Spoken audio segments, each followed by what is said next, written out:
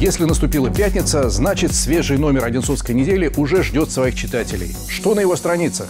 Глава Одинцовского муниципального округа Андрей Иванов провел совещание на высшем уровне в поселке Путевой. Если вы, дорогие телезрители, спросите, кто это рядом с Ивановым, отвечу – это советницы. А какие советы они дали главе округа, читайте на девятой странице. Я раскрывать подробности не стану, чтобы сохранить интригу. Областные новости. Точнее, и областные, и муниципальные одновременно.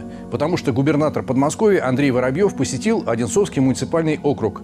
Расположение 45-й бригады спецназа ВДВ в Кубинке. Приехал на день рождения этого подразделения, хотя дата не круглая – 29 лет. Еще одна областная и одновременно Одинцовская новость. Трансформация стоматологических клиник. Она идет в Подмосковье. И, конечно, в нашем муниципальном округе тоже – причем речь идет о государственных клиниках. К высокому уровню обслуживания в частных стоматологиях мы уже привыкли. Настал черед учреждений общедоступных, работающих по полисам медицинского страхования.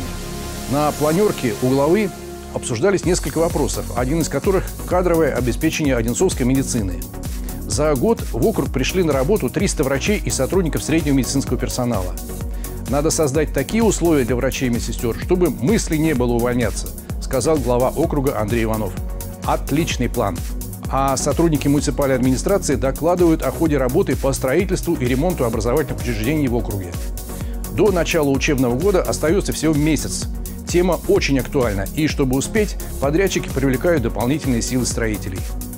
Одинцово заливают дожди, гремят грозы. Да какие!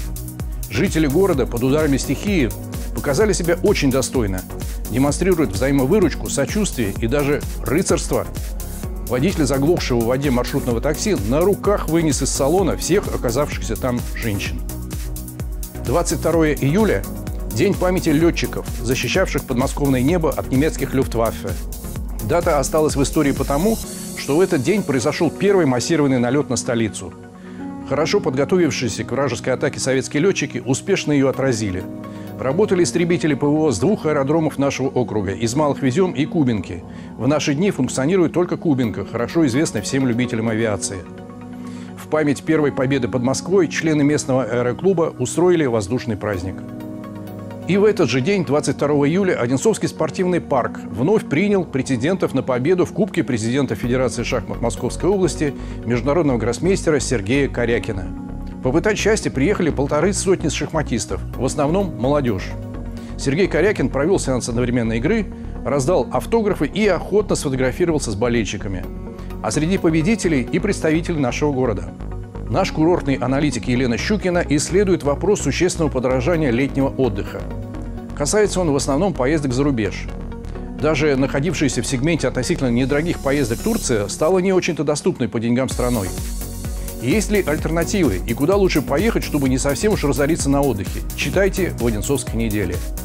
А вообще доктор Антон Павел Чехов, например, работавший в Звенигородской больнице, летом любил в Подмосковье отдыхать. Красиво, уютно, по-домашнему, по-дачному. Московские барышни в красивых нарядах, летние романы на свежем воздухе, прогулки по живописным окрестностям. Что может быть лучше? Звенигородцы до сих пор своего доктора вспоминают и проводят его честь фестиваль. В колонке происшествий интересное сообщение. Лесники оштрафовали за разведение костров жителей Новой Трехгорки. Шашлыки, конечно, все любят, но ведь нельзя огонь разжигать в пожароопасный период. Вон посмотрите, что в Греции опять творится.